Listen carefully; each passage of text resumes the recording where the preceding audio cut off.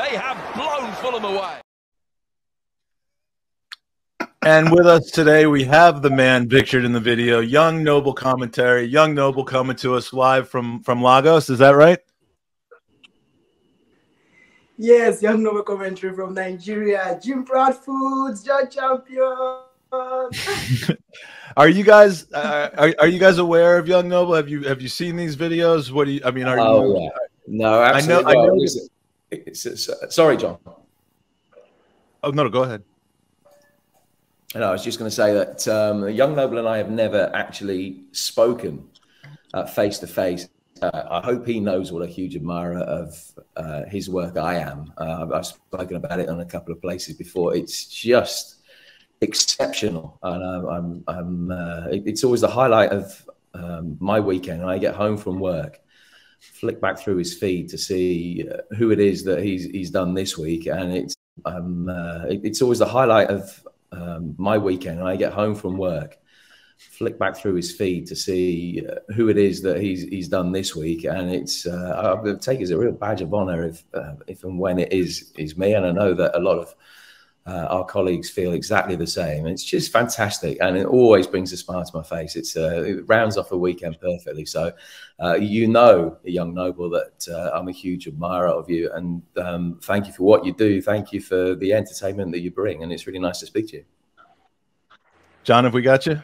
I mean, I, I, that's astonishing. Actually, what the, the clip you just showed us, I, I have to say, I, I'm perhaps a little late to this particular party uh, in that I, I wasn't actually aware of this uh, idea of lip syncing of, of commentators up, up until you introducing me to it, Mike. So it's something I'm going to have to go actually looking for to to, to sort of um, understand it rather better. Peter Drury has mentioned it to me beforehand, but I, have never really seen it at first hand. It's so clever.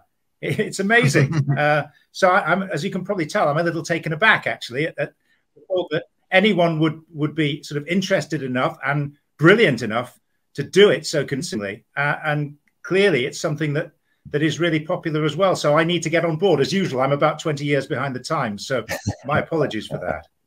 Well, and and it's kind of funny because you know he you expect when you actually hear his voice uh, in real life, you expect him to sound like a uh, you know a uh, an English man, uh, you know, just because of that's always the the sound that he's doing. And and um, so yeah, the lip syncing is hilarious. The costumes are hilarious.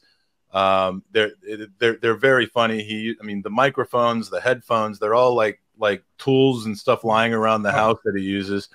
And um, and I and I was showing this earlier when Peter was on, but Peter actually met there.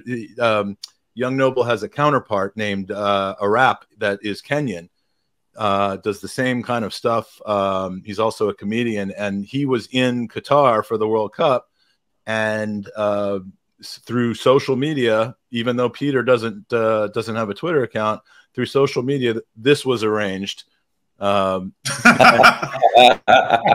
That's incredible. And and this is all you have to know about uh, about about uh, Peter Drury right here is that the man was wearing uh, uh coffee mugs on his ears um, and and making a face into it. I mean that that's that's a guy who has a good sense of humor about himself. So, um, but we got to get to something here because we we have a very. And they suit him as well, don't they, Mike? Don't you think? yeah. I'm I'm pretty sure he took those home with him. Um, so, I hear he's still using them to this day for every cast. Yeah, we are, um, and and and